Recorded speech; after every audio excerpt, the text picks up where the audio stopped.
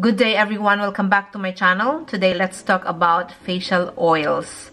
I used to just use facial oils during winter but I'm finding that I have been incorporating it in my skincare regime all throughout the year and so every season and I use it morning and evening. The way I use it, I put on the facial oils last when I put on all the moisturizers and serums and then I will top it off with the facial oil. That's how I tend to use it. There is no science behind why I do that but I just do uh, so today I have 11 empty products and 9 brands that I wanted to talk about. And as usual I will talk about it in the order which I will recommend it. Also do note that I have been using a lot of the products that I have so I'm starting off with all the sample sizes and then move on to the deluxe sizes and then to and then to the full size. I don't want to waste any products that I have at home and so I'm just using a lot of my samples as well. Let's start off with the first brand and this brand I know I have repurchased in the past and so highly recommend.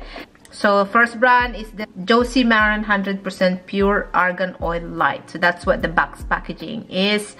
The bottle, I know I recycle them, I use them, I put macadamia oil in it and I'm just using it. So this one I highly recommend. And also if you are venturing into facial oils, I think that it's good to try the lighter version because there is a, uh, because this one is definitely a lighter version of the original argan oil and you may want to, to go to that route first before going full on with all the facial oils but highly recommend. So and then the next brand is from I think the name of the company is Macadamia Naturals. So this is what the packaging looks like. I know it looks so gross because I had this for a while now. This is an Australian company. So this is the pure extract of macadamia natural beauty face and body oil and fragrance free. So 150 ml macadamia oils of Australia Pty Limited. I do love macadamia oil. I actually have a. Uh, I bought it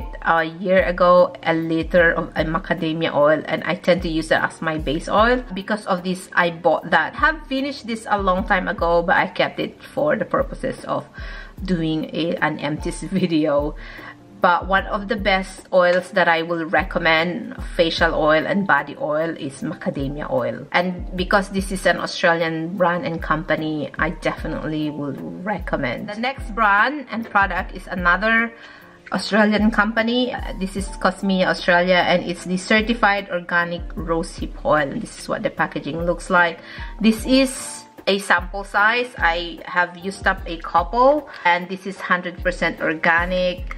So it says here, specialist skincare oil may assist with the appearance of scars, acne, wrinkles, stretch marks, sun damaged skin, dry and sensitive skin. Rose hip oil is also a great oil. I do believe in facial oils and I know that rose hip oil helps in diminishing wrinkles and so I have bought a different brand of rose hip oil. If you want to try, Kosmea's got 100% certified organic all right highly recommend the next brands are something that I will not repurchase I think. Yeah. So but I will just talk through it because I have just used it. Next one is from Tarte and it's their pure maracuja oil. That's what the packaging looks like. This is super tiny. It's cute packaging though. I think this is only like seven this is seven mil. So I've used up a couple. Uh, I don't know much about maracuja oil. I'm happy with the macadamia and rosehip oils that I have but I would not repurchase this. But then if you want to try it go ahead. I did get it from a set so it, so it was part of a set. I enjoyed using it but it's not something that I will repurchase.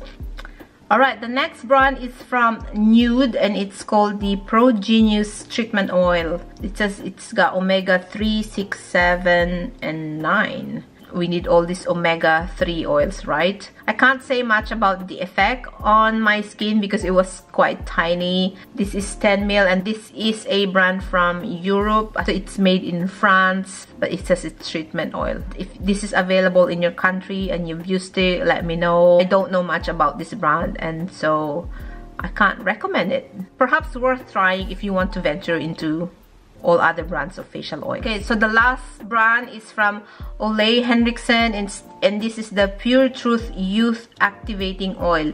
It's with active vitamin C plus A and omega 369. Right, so that's what the packaging looks like and this is how many mil?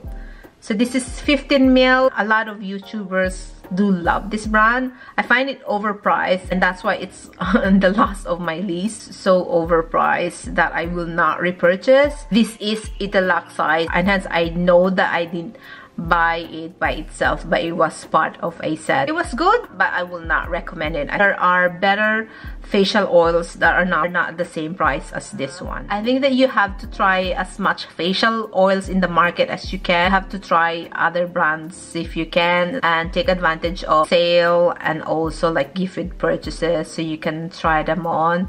But because i have been using a lot of facial oils in the past and i've been trying a number of products there are certain oils that I like to use. I go and source them from wholesalers and try and buy from them. I'm no longer part of the getting to a hype of buying a facial oil because everyone in YouTube loved it and for the price point you can actually make your own facial oils by combining a number of different organic oils and uh, making it your own concoction. And to me that's what I've been doing. But otherwise these are the products that I have used up. And I definitely will recommend the macadamia oil and the argan oil.